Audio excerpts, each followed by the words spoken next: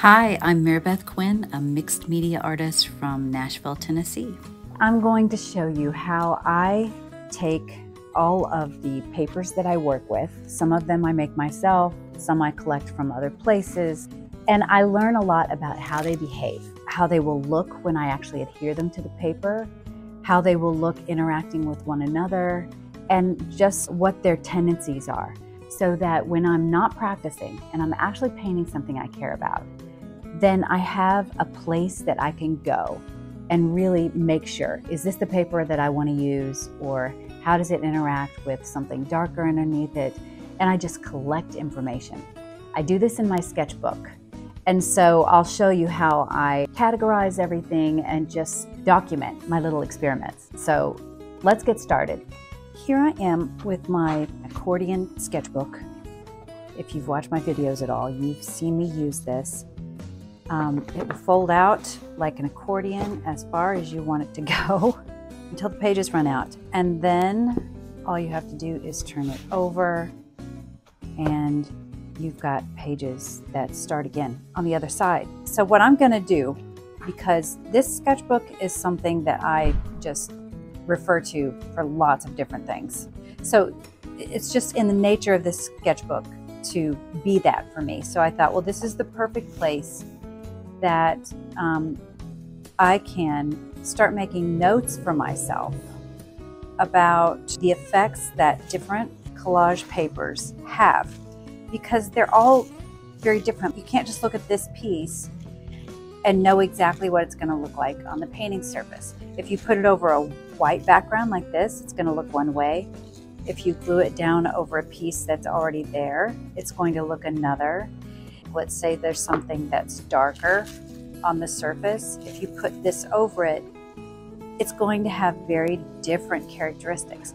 This kind right here, I think I just got out of a, a shoebox. You know when you get new shoes and they have all that wadded up material down in the toe of the shoe? That's what this is. The reason that I really want to make a record of these things is that I want to know if I'm actually working on a real painting that I have, maybe it's a commission or something that I hope to sell.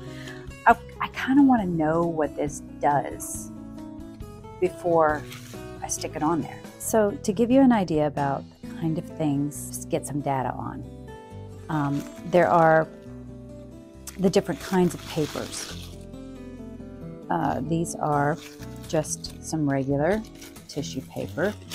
This is a paper, it's kind of shiny. I mean, isn't that pretty, the way those two interact, at least right here. And they look a little bit differently when you get the, the golden or whatever adhesive you use. I use golden It's because it is a glazing medium. It will take your acrylic paint and depending on how much you use, it will give it some level of transparency. But it's also a medium that will attach these to the surface really, really well. And so I like it because I can move easily between those two purposes, just having one medium. I like this because it's light and it's easy to work with. We can also try out things with texture, like this is a piece of gauze. This looks really beautiful and interesting on the surface of a painting. And then you can easily put paper over it. There are the tissues that I have made with the jelly plate. Now I will say the jelly plate has a very distinctive look to it. If you're looking for something that you want to really stand out, the jelly plate is good for that. It, as long as I'm not re not really wanting what's underneath it to show through, these are great, especially for dark areas. They're great. This is a paper from, you know, just some decoupage paper from the art store. I'll see how that interacts with other tissue papers when you add them together. I love that. So the last thing that I'll be putting in this book is my mulberry paper. It really gives, there's a lot of pigment there, so it can give a lot of pop. So we've got a lot to look at.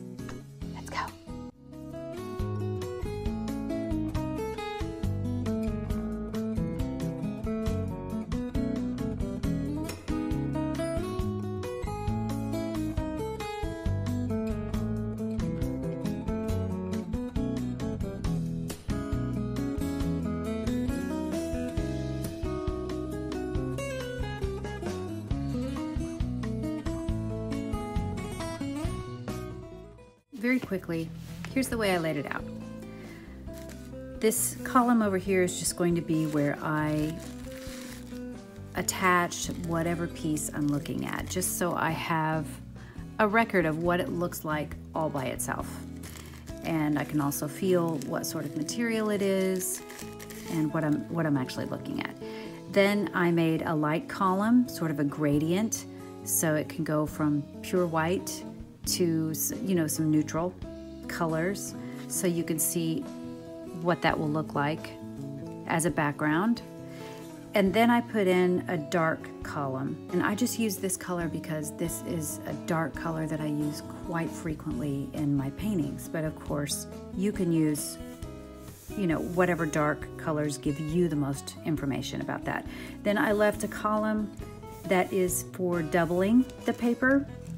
So you can you can double it over itself or maybe even multiples just to see how that changes how the paper looks. And then there's a bigger column left for pairings in case you are interested in having a place where you can go back and see, you know, for instance, what does it look like when I use these two together? I'm gonna get started on this and let you see how it takes shape. So while I'm working on this, think it's worthy of pointing out that work like this on the surface can sometimes seem somewhat unimportant. I mean, it's not essential to getting another painting done or out the door or on the website. But since I began incorporating the awareness that I'm not just creating paintings, but actually developing my artistic sensibilities and honing my craft, then I can expand my perspective. My perspective that can often limit me in what I see as possible. Since I began investing in these activities, I find that my understanding of why it's important is actually growing. So, by doing exercises like this, it's as if I'm sending a message to the part of my brain that wants to limit or edit my creativity. And it's a message that I value learning. I value growing and understanding my own creative impulses more than I value this idea of perfection or even being good.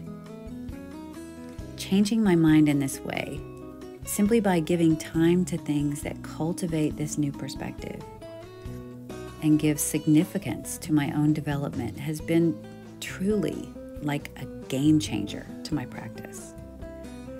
I find that I'm more curious and less likely to feel like this is a pass or fail sort of venture. Maybe more like an adventure. And so it cultivates this curiosity and a bit of fun and just someone who's taking in the materials that they work with and studying them and getting to know them. I think this is very important.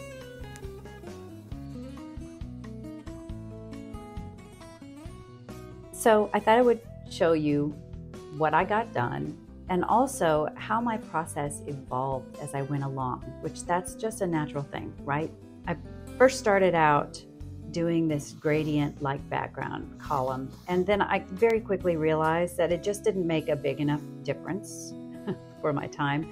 The valuable thing that I really learned in this column is just what the paper looks like on the background. This very first one, I actually adhered in the type column. And then I realized, you know, I'm just going to tape them because what I really need to to be able to do is feel the thickness of the paper, also take it off if I need to, and examine which paper am I actually looking at and which papers that am I considering using that actually match that. There are a number of different tissue papers. I put one of the ones that I order off of Amazon in the description, but I also pick up a lot of papers out of, uh, like I said, shoe boxes or gifts that I get. They have different qualities to them. So I really need to be able to feel what those qualities are and and see what they look like not adhered to the page so I can recognize them in my box. This was a page that was mostly mulberry papers. This is not mulberry and neither is this, but well, that isn't either. But everything else is the mulberry paper. I also put that in that link in the description as well. This was the last page that I got to. It was a bunch of lighter paper. This uh, was a paper that I did on the jelly plate. It's not transparent in any way. So I just got to see how that plays out. It really works well when I put transparent uh, papers over it. This is also the pairings that I did with the piece of gauze. As you can see, you can still really see the gauze. This one is the gauze on the top, and this, these two are papers over the gauze. So as you can see, I, I would do a number of different things. Doubling here in this column really gets to show you in this middle section where they crisscross how much darker you can make it. And in some cases, it didn't make a difference at all, like this.